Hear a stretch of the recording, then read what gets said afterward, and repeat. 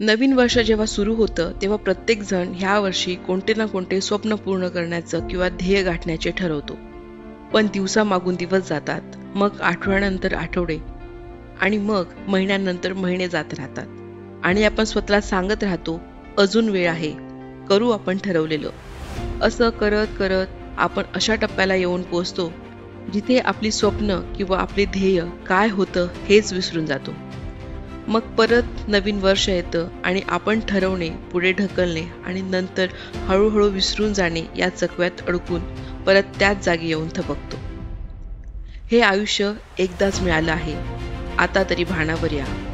या व्हिडिओमध्ये सांगितलेल्या चार गोष्टींचे अवलंब करून या शेवटच्या अडीच तीन महिन्यात जे वर्षानुवर्ष झालं नाही ते करायचा ह्या वर्षातील सर्वात शेवटचा प्रयत्न करा. सुरुवात करा. एक पायरी यशाच्या दिशेने चढा. आणि आत्मविश्वासाने पुढील वर्षाची सुरुवात अजून मोठ्या स्वप्नांसाठी राखून ठेवा. एकाच ध्येयावर लक्ष केंद्रित करा.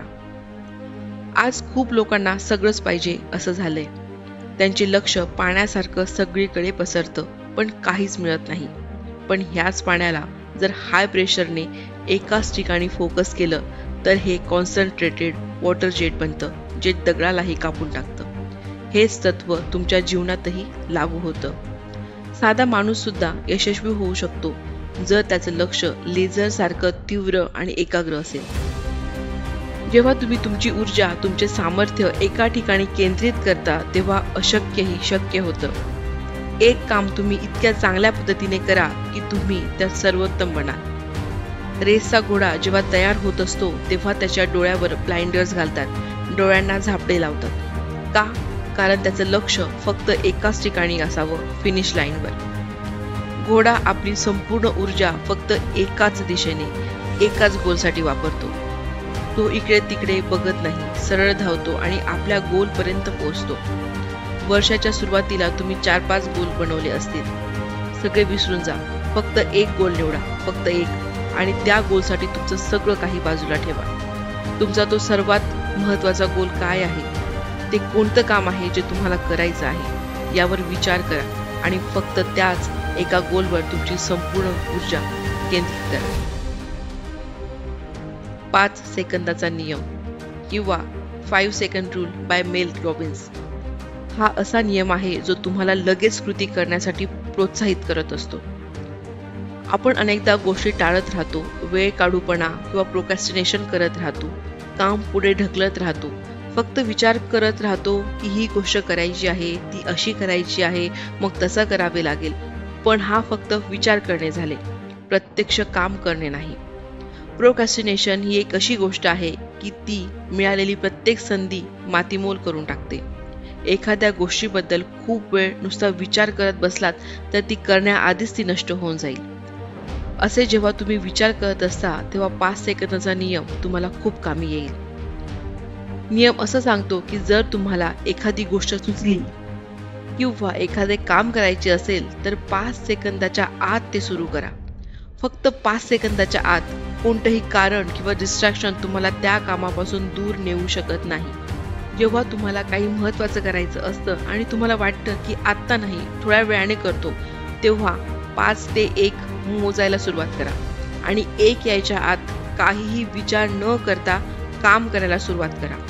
तुम्ही प्रत्येक गोष्टीत असे करण्यास सुरुवात केली तर तुमची प्रोडक्टिव्हिटी वाढेल आणि प्रोकॅस्टिनेशन पूर्णपणे थांबेल. संयम राखा. बऱ्याच वेळा असे होते की तुम्ही एक ध्येय समोर ठेवलेले असते आणि ते मिळवण्यासाठी तुम्ही पूर्ण सामर्थ्याने ऊर्जेने ते काम करत असता. पण सुरुवातीला तुम्हाला कोणतेही रिझल्ट मिळत नाही. तेव्हा तुम्हाला असं वाटतं की हे व्यर्थ चाललं आहे. माझी मेहनत माझी शक्ती माझा वेळ वाया गेला. याचे कारण हेच असते की तुम्ही अजून तरी एखाद्या विशिष्ट पातळीवर किंवा टप्प्यावर पोहोचले नाही की जिथून खरे यश मिळण्यास सुरुवात होते. हे एक उंबरठ्यासारखं आहे जो यायच्या आधी तुम्ही थकता आणि असा विचार करता पण हा उंबरठा ओलांडला की तुम्हाला यश मिळणे निश्चित असते आणि या ठिकाणी संयमाने काम करत राहणे आपल्या कामात काहीही झाले तरी सातत्य ठेवणे फार गरजेचे आहे. हे जर तुम्ही समजून घेतले तर हेच तुम्हाला स्वतःला प्रेरित करत राहील. जेव्हा तुमच्या मनात हार मानण्याचा विचार येतो तेव्हा समजून घ्या की तुम्ही त्या उंबरठ्याजवळ आहात आणि आता तुम्हाला अजून जास्त मेहनत करायची आहे.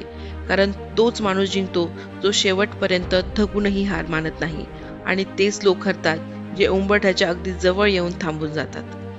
यश फक्त कठोर परिश्रमच करून मिळत नाही तर ते संयम ठेवून सातत्याने करत राहून मिळत असते.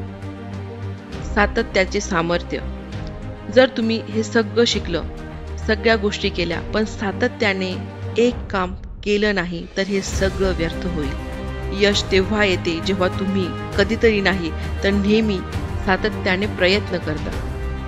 जगात बहुतांश लोक एखादी नवीन सवय सुरू करतात पण थोड्या वेळाने ती सोडून देतात. इथेच सातत्याचं सामर्थ्य येतं. दीर्घकाळ सातत्य राखणे तात्पुरत्या तीव्रतेपेक्षा जास्त महत्त्वाचे आहे. जेव्हा तुम्ही रोज रोज सातत्याने त्याच गोष्टीवर काम करता मग ती लहान असो किंवा मोठी तुम्हाला रिझल्ट नक्की मिळतात. कारण कोणतंही काम एका दिवसात होत नाही तर ते रोज थोडं थोडं करूनच पूर्ण होतं. म्हणून स्वतःला एक वचन द्या की तुम्ही तुमच्या गोलसाठी सातत्याने काम करा. जरी कितीही अडचणी आल्या परिस्थिती वाईट असली तरीही काम करत राहाल. आता तुम्ही तुमचे ध्येय साध्य करण्यासाठी तयार आहात. लक्षात ठेवा एक ध्येय संयम पाच सेकंदाचा रूल आणि सातत्य या गोष्टी तुम्हाला यशस्वी करतील आणि तुम्ही ती व्यक्ती व्हाल ज्याने त्याचे ध्येय साध्य केले.